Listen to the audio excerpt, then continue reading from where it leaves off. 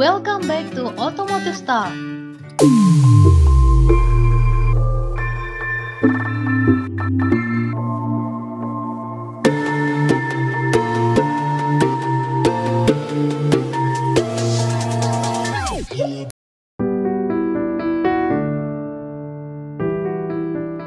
Assalamualaikum warahmatullahi wabarakatuh.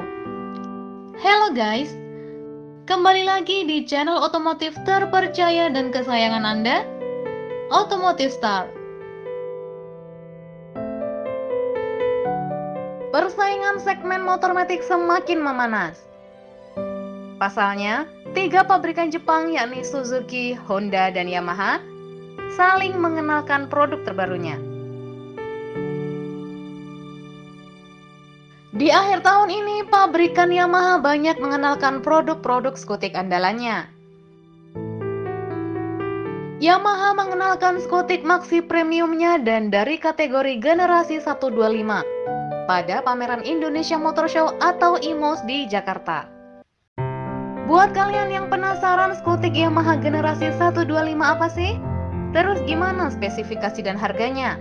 Tonton videonya sampai habis ya. Tapi buat kalian yang belum subscribe, silahkan klik dan aktifkan tombol loncengnya ya. Karena itu gratis guys, dan menjadikan kita semangat membuat konten yang bermanfaat. Buat kalian yang udah subscribe, makasih ya. Pabrikan berlogo Garputala resmi merilis motor 125cc terbaru. Motor ini adalah New Yamaha Frigo 125 yang merupakan versi terbaru dari generasi sebelumnya. Yamaha Frigo 125 hadir dengan penyegaran total pada seluruh desainnya dan telah dilengkapi dengan sejumlah fitur canggih. Disematkan juga fitur Y Connect yang membuat motor ini tampil semakin modern dan elegan di kelasnya yang akan membuat konsumen kami lebih percaya diri dalam kehidupan berkendara mereka setiap hari. Perubahan juga hadir pada desain New Yamaha Frigo 125. Terlihat dari bagian depan yang telah menggunakan lampu utama LED dengan desain headlamp V, membuat penampilannya terlihat dan menawan.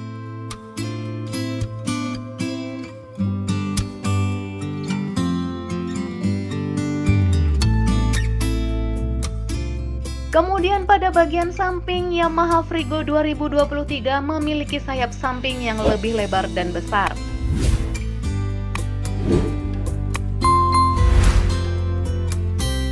Perubahan cukup signifikan juga hadir pada bagian bodi belakang yang didesain dengan garis tajam dan berkelas.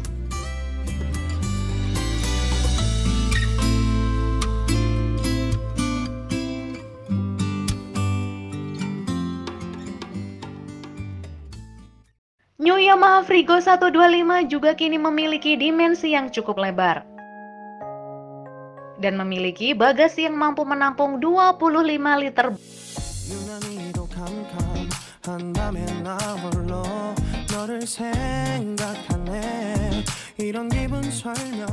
Generasi terbaru dari Yamaha Frigo 2023 memiliki sejumlah fitur terbaru. Seperti Y Connect yang telah hadir pada motor keluaran terbaru dari Yamaha lainnya.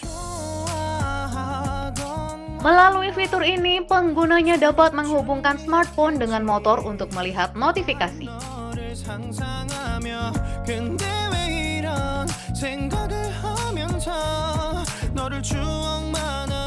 Pabrikan juga membekali New Yamaha Frigo dengan berbagai fitur unggulan.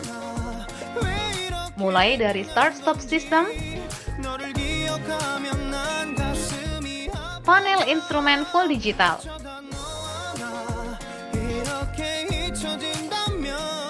sistem nirkunci pintar atau smart keyless, ensure brake system,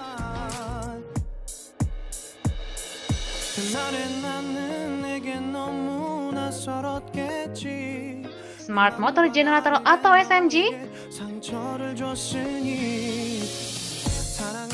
dan soket pengisian daya ponsel.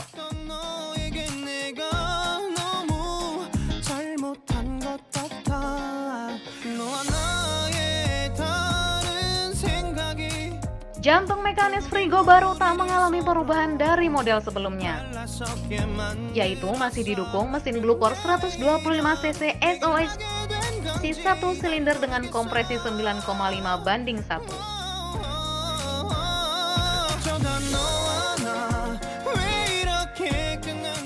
Dengan mesin tersebut, motor ini dapat menghasilkan tenaga puncak mencapai 7 kW atau sekitar 9,52 PS pada 8000 rpm. Dan torsi puncaknya mencapai 9,5 Nm yang diraih pada 5500 rpm.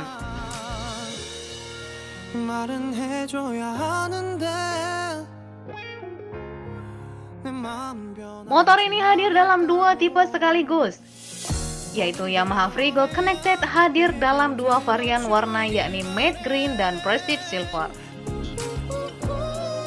Sedangkan Yamaha Frigo Standard hadir dengan empat varian warna, yakni Matte Blue, Metallic Red, Metallic Yellow, dan Matte Black.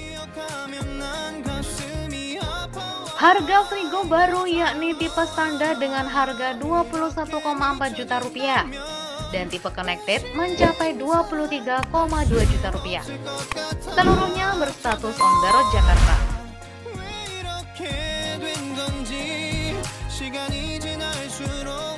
Ternyata New Frigo selain luar biasa, harganya cukup terjangkau.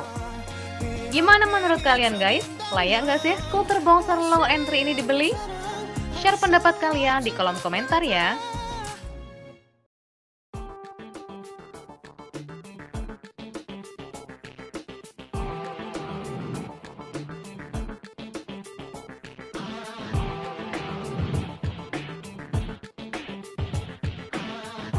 Bila kita terus rapatkan barisan Dan tetap terus bergandengan tangan Tentu kita semakin di depan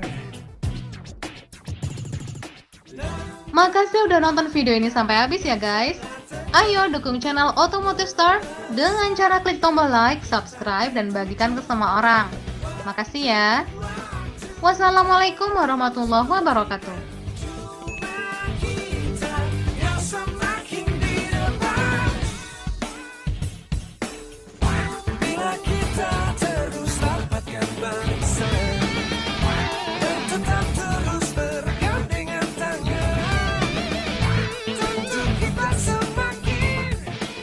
Yama, semakin di depan. Full gas,